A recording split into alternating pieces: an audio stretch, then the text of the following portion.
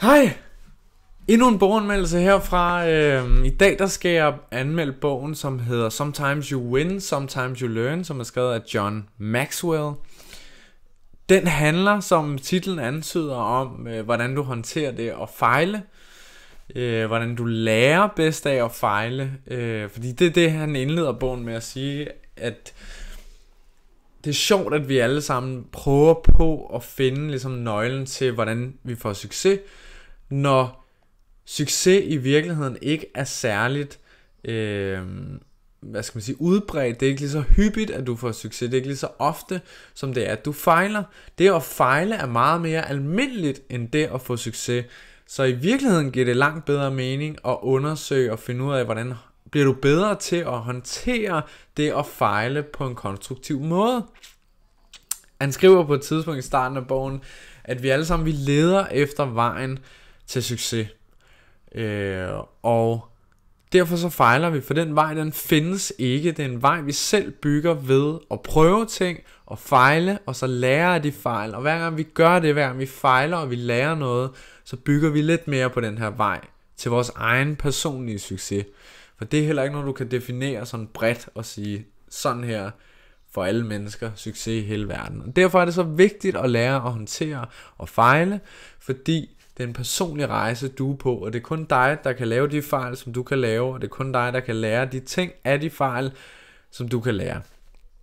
Så det er det, bogen handler om, og øh, jeg synes, det er en øh, super god og motiverende bog. Det er et emne, som jeg brænder meget for, fordi det har påvirket mig rigtig meget i løbet af de sidste par år. Det her med at begynde at lære om fixed mindset blandt andet, som jeg har, også har lavet en boganmeldelse af, det her med, at, øh, at man ikke skal tro, at man skal kunne det hele, eller at man skal være klog, eller god, eller dygtig fra starten af, men mere, at man bare øh, skal lære.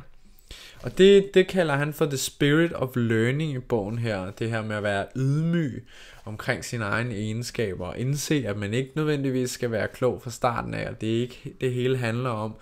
Og, øh, og hvad skal man sige, at æge sit eget ego og, og bevise, hvor klog og dygtig man er over for resten af verden. Øh, det kommer jeg lidt tilbage til, fordi at det, der er nogle andre ting, jeg godt lige kunne tænke mig at fremhæve først. Øh, Øh, fordi han siger ret mange interessante ting i bogen her. Han starter blandt andet med at nævne nogle forskellige eksempler på succesfulde mennesker, som har fejlet rigtig meget undervejs. Han nævner blandt andet Steven Spielberg, og nævner, at, øh, at han blev ikke optaget på filmskolen de første, øh, eller faktisk de to gange, han prøvede at ansøge, efter han så bare valgte at, at klare sig selv derfra.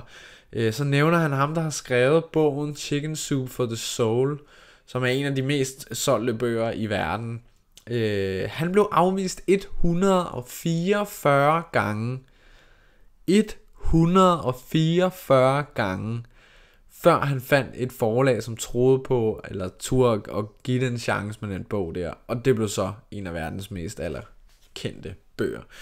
Øh, så det er bare et par eksempler på, hvordan det her med at fejle igen og igen, og så lære din fejl, og så blive bedre, det kan ende med kæmpe stor succes. Og sådan har det været for langt de fleste. Hvis du begynder at læse øh, selvbiografi, eller bare biografier af succesfulde mennesker, så vil du se, at de fejler rigtig, rigtig meget undervejs. Et klassisk eksempel er også Edison, der skulle øh, opfinde pæren, som bare altså prøvede alt, hvad han kunne komme i tanke om af, og, og lavede tusind fejlede eksperimenter, før han fandt den ene kombination af ting, som lavet den elpære, som han er blevet så berømt for at have opfundet. Han var jo ikke en opfinder, der som sådan har sat sig ned og tænkt, og tænkt, mm, og lavet formler op i sit hoved og regnet matematik og sådan noget. Han har bare prøvet at sætte forskellige ting sammen og set, hvad virker. Nå, det virkede heller ikke. Nå, det virkede heller ikke. Nå, det virkede heller ikke. Nå, det virkede heller ikke. Og så hver gang tænkt over, hvorfor virkede det ikke? Hvad kunne jeg eventuelt prøve at gøre anderledes for at lave et nyt forsøg, som måske har en chance for at virke? Og så har han bare blevet ved og ved og ved og ved han fejlede tusind gange, som har endt med en succes, som har gjort ham kendt i hele verden, og gør, at vi stadigvæk kender ham den dag i dag.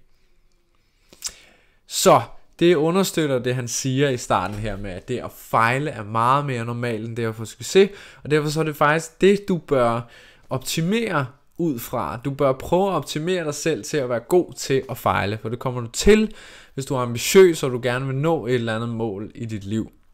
Så kommer du til at fejle.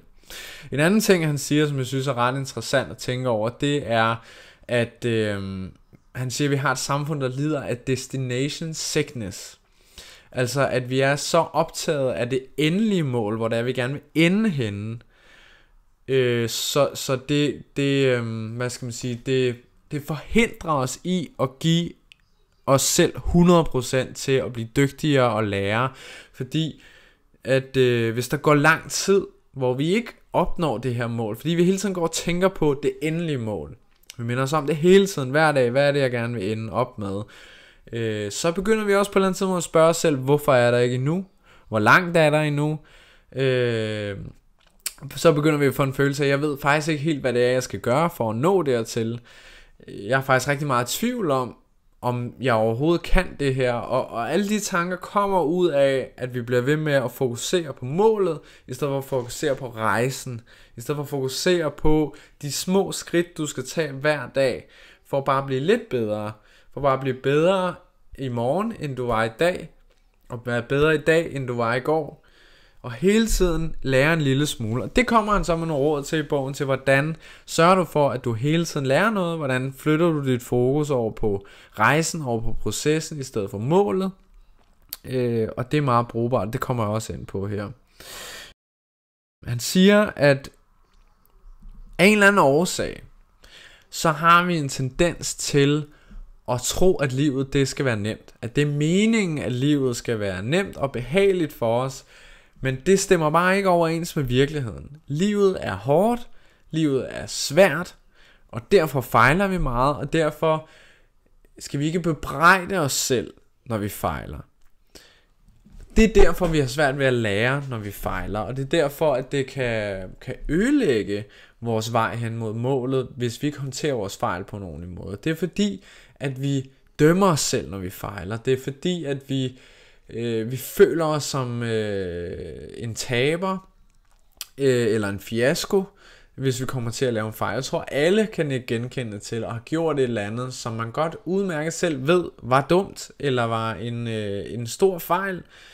Og så føler vi os dumme, eller vi føler os som en fiasko, fordi at vi har gjort et eller andet, som vi ikke skulle have gjort, øh, og fejlet på en eller anden måde. Øh, og der siger han, at man er nødt til at være ydmyg. Og der kommer han ind på det her med spirit of learning. Øh, for han siger, dem som besidder, han, siger, han skriver, at 85% af al succes i livet, viser undersøgelser, afhænger af attitude, og 15% afhænger af egenskaber. Og den attitude, som du skal have for at kunne få succes og for at kunne lære af dine fejl, det er det, som han kalder the spirit of learning. Og det er i virkeligheden ydmyghed, vil jeg kalde det på dansk. Fordi han beskriver det som... Øh, at du, du dropper den stolthed, som vi har en tendens til at have. Og det er ego, som fortæller dig, at som, som sådan, giver dig sådan en falsk selvsikkerhed ved at fortælle dig, du er god, du er klog, øh, du er alle de ting, du gerne vil være, øh, uden at du behøver at gøre noget for det. Øh, og det er lidt det samme som det her fixed mindset, som jeg også har lavet en boganmeldelse om tidligere, den der hedder Mindset, som du kan gå ind og finde blandt de andre boganmeldelser. Det her med, at vi tror, at vi er født med nogle egenskaber, som vi ikke kan ændre, og derfor så er vi nødt til at være god til, god til nogle ting, uden at have øvet os på det. Fordi ellers så, øh, så dur vi ikke til noget, hvis ikke vi allerede er kloge, eller dygtige, eller geniale, eller super gode til et eller andet. Øh, men det er helt forkert, fordi at øh, vi er født øh, uden at kunne noget. Dengang vi var baby og børn, der kunne vi ingenting. Og børn de lærer ved at fejle. Hvis du kigger på en baby, der lærer at gå, så vil du se den falde en million milliard gange og bare fortsætte med at prøve. De prøver, og de prøver, og de prøver, og de prøver, og de prøver på alle mulige forskellige måder, og de fejler en milliard gange, indtil de lige pludselig har den. Fordi de ikke har noget billede af, at jamen, jeg burde da kunne gå. Hvorfor kan jeg ikke gå? det er da noget mærkeligt noget. Jeg, da, jeg må da være en taber, siden jeg ikke kan gå. Altså, det tænker baby eller børn ikke over, fordi de ikke er blevet voksne endnu, og ikke er begyndt at tænke over, hvem er jeg, og hvad er min identitet, og hvordan er jeg i forhold til andre mennesker, og hvor jeg er henne i det sociale hierarki, og alle de her ting, som vi går og tænker over. Øh, så ydmyghed er super vigtigt. Super vigtigt at være ydmyg omkring dine egne egenskaber. Og ydmyghed, siger han, det betyder ikke, at du tænker dårligt om dig selv. Det betyder bare, at du tænker mindre på dig selv. Det betyder bare, at du ikke er centreret omkring dig selv hele tiden, og hele tiden skal bekræftes i, at du er også god nok, du er også dygtig nok, du er også klog. Men at du godt kan acceptere, at der er en masse ting, du ikke kan eller ikke ved, og derfor skal lære, og derfor skal øve dig på, og derfor er det ganske naturligt, at når du prøver på noget, som er svært, så fejler du. Men det at fejle er bare en mulighed for at lære noget. Fordi hver gang du fejler, så har du mulighed for at reflektere og overveje og sige, hvorfor fejlede jeg her? Hvad var det, jeg gjorde forkert? Eller hvad er det, jeg ikke ved? Hvad var det, jeg ikke vidste? Hvad var det, der gik galt? Du kan få feedback fra andre. Hvad tror du, der gik galt? Hvad tror du, jeg gjorde forkert? Hvad manglede jeg at vide? Eller så videre, og så videre, og så videre. Det kan du ikke på samme måde, når du vinder. Det er sværere at reflektere over, hvorfor vandt jeg? Hvorfor gik det her godt? Øhm, og derfor så er det at vinde og få succes faktisk en dårlig lærermester. Det er faktisk meget bedre at lære af at, at tabe, og hvis du, hvis du kan øh, hvad skal man sige, opfostre den lyst i dig selv til at lære at blive bedre, så vil du automatisk også begynde at have det bedre med at tabe eller fejle, fordi så vil du tænke, yes, der var en mulighed for virkelig at lære noget her. Øh, så det beskriver han meget, hvordan ydmygheden den åbner dine øjne på den her måde, fordi du ikke længere er bekymret om, om du ser godt ud i forhold til andre mennesker, eller om du er klog, eller øh, hele tiden det der mig, mig, mig, egocentreret omkring dig selv, men du rent faktisk kigger på, hvordan er tingene i virkeligheden, hvordan forholder virkeligheden sig, øh, og du ikke har det skidt med det, fordi du er ydmyg, fordi du ikke tænker på dig selv hele tiden, fordi du indser, at du bare er en del af, af resten af verden, og du ikke er et unikt øh, snifnuk, øh, men du bare er ligesom alle andre mennesker. Øh, men du har muligheden for at lære, og på den måde rykke dig og, og skille dig ud fra mængden, kan man sige, ved at være bedre til at lære, og være bedre til at håndtere og lave fejl end andre mennesker. Øh, så snakker han lidt om, hvorfor det er så svært at, øh, at ændre sig. Fordi det er jo så det næste, at når du fejler, og du øh, reflekterer over det, og du finder ud af, hvorfor du har fejlet, og hvad du eventuelt skal gøre anderledes, så skal du jo implementere det, så skal du rent faktisk gøre noget ved det. Øh, og det er svært for os, siger han. Det er svært, fordi at øh, det føles som et personligt nederlag at skulle ændre sig. Det føles som om, at den person, som du er i dag, ikke er god nok, hvis du er nødt til at lave den person om. Og det er igen dit eget ego, du kæmper mod her, din egen identitet. Jeg har lavet flere videoer og snakket om det her med identitet, og at vi klistrer ting til vores egen identitet, og så er det svært for os at slippe de her ting igen. Øh, men i virkeligheden, så, så er vi jo, vi er jo ikke alle de ting, vi går og bilder os ind, at vi er. Altså, øh, vi er jo bare øh, en, en skabning på jorden, som er en planet i universet. Vi er jo bare et pattedyr, ligesom alle andre. Og øh, vi er født ligesom alle andre, som de her babyer, der ikke kan gå, eller ikke kan noget som helst faktisk fra starten af. Og vi skal lære alting, og vi skal tilpasse os. Og det er faktisk det, vi er som mennesker. Vi er dem i naturen. Grunden til, at vi er øverst i fødekæden, er, fordi vi er dem i naturen, der er bedst til at tilpasse os. Det er ikke fordi vi er de klogeste eller de stærkeste. Det er fordi vi er de bedste til at ændre os og tilpasse os. Det er derfor, at vi er ligesom det øverste væsen, det øverste pattedyr, der er på jorden. Øh, og det er vores superkraft som mennesker, det er, at vi er super gode til at ændre os og tilpasse os til vores situation. Og det skal vi huske at udnytte. Og vi skal ikke se det, det igen, fordi man er centreret omkring sit eget ego og vil holde fast i sin egen identitet Øh, og det skal vi lade være med. Vi skal lære at bare se tingene sådan, som de er, og være ydmyge. Fordi så kan vi ændre os, og så kan vi lære af de, øh, af de ting, som vi øh, finder ud af, når vi fejler, og vi overvejer, hvorfor vi har fejlet, og vi reflekterer over tingene. Øh, jeg anmeldte for noget tid siden Principles of Ray Dalio, og et af hans, en af hans regler i den her øh, bog, det er også pain plus, plus reflection equals progress. Han siger, hver gang du møder smerte i dit liv, lidt det samme som det her, så er det fordi, du har noget at lære. Hver gang du møder smerte, så bør du reflektere over, hvor kommer den her smerte fra? Hvad er det, der har været årsagen til det? Hvad kan jeg gøre anderledes i fremtiden? Det er fuldstændig det samme princip som det her. Hver gang du fejler, hver gang du oplever noget som ubehageligt, så bør du overveje, hvorfor oplever jeg den her smerte lige nu? Hvordan kan jeg gøre det anderledes i fremtiden? Det er det, der adskiller succesfulde mennesker fra ikke succesfulde mennesker. I hvert fald ifølge de her meget succesfulde mennesker, som har skrevet nogle af de her bøger. Blandt andet John Maxwell her, som har skrevet den her bog. Øh, så siger han en anden ting, som jeg også synes er vigtigt at fremhæve. Han siger, et vigtigt spørgsmål at stille sig selv i livet, det er, hvem er jeg? Men et endnu vigtigere spørgsmål at stille sig selv i livet, det er, hvem er jeg på vej til at blive? Og det glemmer vi at spørge os selv om. Vi er så fokuseret på os selv og vores situation lige nu, og at vi gerne vil have det så behageligt som muligt i vores liv lige nu, og vi helst ikke vil ud af vores komfortzone eller udsætte os selv for noget, der er ubehageligt. Så vi glemmer at spørge os selv, hvem bliver jeg om 20 år, hvis jeg bliver ved med at gøre de ting, som jeg gør i dag, hver dag. Og det er super vigtigt at tænke over. Det er også noget, som jeg har lært, ikke lige af den her bog, men blandt andet Anthony Robbins og mange andre, at det her med, du er nødt til at tænke over, hvis du gerne vil opnå noget, øh, som nogle andre måske har opnået før dig, så er du nødt til at kigge på, hvordan de lever deres liv til hverdag, altså hver dag. Hvad er det for nogle rutiner, de har hver dag? Hvad er det for nogle ting, de gør hver dag? Fordi det er det, der skaber den person, du bliver i fremtiden. Og du er nødt til hele tiden at spørge dig selv, hvem er det, jeg er på vej til at blive med de ting, jeg gør i dag, med de vaner, jeg har i dag? Hænger det sammen med den person, jeg gerne vil blive?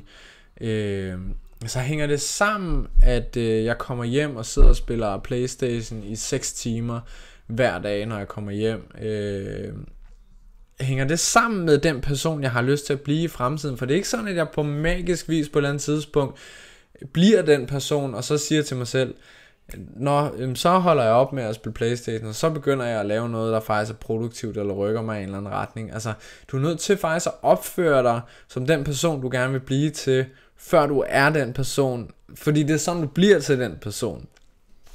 Øh, det synes jeg er rigtig vigtigt og rigtig interessant. Det er i hvert fald noget af det, jeg har lært rigtig meget af. Det var noget af det, som dengang jeg startede min egen personlige udvikling og læste Anthony Robbins og sådan noget, der havde jeg jo en personlighed, hvor at øh, jeg havde svært ved at tage mig sammen til ting, fordi jeg altid fandt undskyldninger for, øh, Øh, hvorfor jeg det ikke lige kunne lade sig gøre, eller hvorfor jeg ikke lige var i det rigtige humør, eller hvorfor det var okay lige at vente til i morgen med at gøre tingene. Jeg var så god til at finde undskyldninger. Og noget af det, som Anthony Robbins lærte mig i hans øh, bog der, Awaken the Giant Within, det var det her med, at du er nødt til, hvis du har lyst til at ændre dig og blive til en anden person, end den du er i dag, så er du nødt til at fortælle dig selv, at nu er du den her person. Også selvom du godt ved, at alt hvad der er sket før nu, der har du ikke været den her person. Så du føler, at du er den gamle mig, men du skal begynde at tænke på, at du er den nye dig, som er fra i dag og fremadrettet. Alt hvad der er sket før nu, det er ligegyldigt. Nu starter du på en frisk fra i dag, og nu er du bare en ny person. Så for eksempel det her med undskyldningerne der lærte jeg, at jeg var nødt til at sige til mig selv, jeg vidste jo godt, når jeg tænkte på at, at læse to uddannelser på samme tid for eksempel, så kunne jeg jo sagtens begynde op i mit hoved og tænke, jamen, du kommer til at finde så mange undskyldninger for, hvorfor du ikke lige skal læse det her kapitel, eller hvorfor du lige skal udskyde til morgen, eller hvorfor du ikke lige gider. Og i stedet for at tænke de ting, så var jeg nødt til sådan bevidst at sige til mig selv, nej, det er ikke sådan, du er længere. Nu er du sådan her, at når du sætter dig noget for, så gennemfører du det. Og når du siger til dig selv, at du har tænkt dig at læse de her de ting, eller du gør de der ting, så gør du det også. Og det skift at lave i sit hoved er super svært, fordi det føles så falsk. Fordi du godt ved, at det er ikke sådan du er. Det er i hvert fald ikke det du har vist frem til nu at du er sådan. Men i det øjeblik, at du begynder at fortælle dig selv, at det er sådan, du er, så begynder du også at efterleve det. Og det er så øh, kraftfuldt at, at, at begynde at vende sit mindset på den måde. Det skriver han faktisk også et sted, hvor han skriver, øh, at de vigtigste samtaler, du har i dit liv, det er samtaler, du har med dig selv, om dig selv. Fordi det er dem, der definerer, hvem du er som person. Og det er derfor, når du fejler, så er du nødt til virkelig at tænke over, hvad du siger til dig selv om dig selv i de situationer. Fordi hvis du føler dig som en taber eller en fiasko, når du fejler med noget, så kommer du ikke til at være motiveret og have energi til at stå op dagen efter og give den en mega skalle og, og blive bedre og lære alt det du kan af den her fejl du har lavet, sådan, så du kan blive bedre i fremtiden. Så kommer du til at have lyst til at, at lægge dig i fosterstilling under din dyne og spise Ben Jerry's i stedet for. Og det er derfor det er så vigtigt, hvad du siger til dig selv om dig selv. Til sidst her vil jeg nævne tre ting, tre helt konkrete ting, som du kan begynde at bruge, som man siger. Det er sådan her tre ting, du kan implementere for at blive bedre til at lære ting i din hverdag. Den første ting er, forbered dig på at lære. Når du laver din øh, to-do-liste for dagen og siger, at jeg skal de her, de her, de her ting i dag, så tænk over, hvor her i er der muligheder for at lære noget, hvor møder jeg måske nogle mennesker, jeg kunne spørge om et eller andet, hvad har jeg lyst til at spørge de mennesker om, hvad kunne de vide, som kunne være godt for mig at få at vide eller spørge ind til, og så hvis du bare kan tage to-tre punkter, hvor du siger, her har jeg faktisk mulighed for at lære et eller andet, og så lige skriver ned, husk at spørge om det her, eller husk at undersøge det her, og husk at få den her læring med. Øh, og, så, så, og du så gør det, når du så går igennem din to-do list og siger, hov, her skulle jeg lige huske at spørge ham her om det her, øh, så vil du lære meget mere i løbet af din dag. Den næste ting er overvejelse. Du er nødt til at overveje rigtig meget, øh, hvorfor du gør ting, som du gør. Hvorfor du fejler, når du fejler. Hvad er årsagerne til, at du har fejlet her? Og hvad er årsagerne til de årsager? Altså for eksempel, hvis du har fejlet øh, i en eller anden øh, salgssamtale for eksempel, fordi du har sagt noget forkert, så kan det måske være, du kan analysere dig frem til, okay, grunden til, at jeg fejlede her, det var, fordi jeg sagde sådan her. Så kunne du skrive længere tilbage og sige, hvorfor sagde jeg det? Øh, og så kommer du måske frem til, om det var, fordi jeg var i dårlig humør hvorfor er jeg dårlig humør, endnu længere tilbage, og så blive ved. Så den der overvejelse er super vigtig, og det er super vigtigt at blive i den der overvejelse, indtil du ligesom føler, du noget i bunds med årsagerne til, at der skete det, der skete. Og nummer tre ting, man skal gøre for at blive bedre til at lære, ifølge John Maxwell her, det er, at man skal bruge de ting, man lærer med det samme. Og øh, jeg gør det øh, ved for eksempel det her med at forberede mig på at lære. Det har jeg jo så lært, da jeg læste den her bog, at øh, det er en god idé, når man laver sin to-do-list. Så det gør jeg nu, samtidig med at lave min to-do-list, som jeg alligevel gør hver øh, aften eller om morgenen, øh, hvis ikke jeg har nået det om aftenen. Øh, og så er jeg simpelthen begyndt at skrive ind, hvor er mulighederne her for at lære et eller andet, som jeg ikke ved i forvejen, eller få svar på nogle af de spørgsmål, jeg har, og så skriver jeg det ind, og så sørger jeg for at lære de ting i løbet af dagen. Og det er en måde, at jeg har brugt noget, jeg har lært med det samme. Og jeg bruger faktisk som regel de ting, jeg lærer i de bøger, jeg læser, mens jeg, altså inden jeg bliver færdig med at læse bogen, så har jeg ligesom taget, okay, det her, det kan jeg bruge, og så begynder jeg at implementere det med det samme. Øh, og det siger han også, det er super vigtigt for, at den her læring, den virkelig slår til, sådan som det er meningen, at den skal. Det er, at du bruger tingene lynhurtigt efter du har lært dem, så du ikke kommer væk fra det igen og glemmer det. Så, det var Sometimes You Win, Sometimes You Learn af John Maxwell. Jeg håber meget, I kan få noget af det. Jeg kan klart anbefale at læse bogen. Jeg synes, den er sindssygt god. Hvis du kunne lide anmeldelsen, og du godt kan lide de her videoer i det hele taget, så smid et like.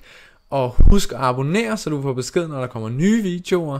Øh, næste gang jeg laver en boganmeldelse, så bliver det af bogen The Obstacle is the Way af Ryan Holiday.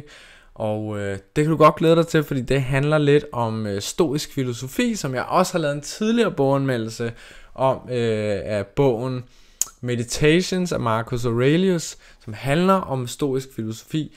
Øh, det, det er altså en nyere fortolkning af flere af de gamle stoiske filosofer, og hvordan man sådan bruger det i praksis. Super fed bog om, hvordan man vender øh, udfordringer eller sådan forhindringer til at være selve vejen til din succes. Ikke helt det samme som at fejle.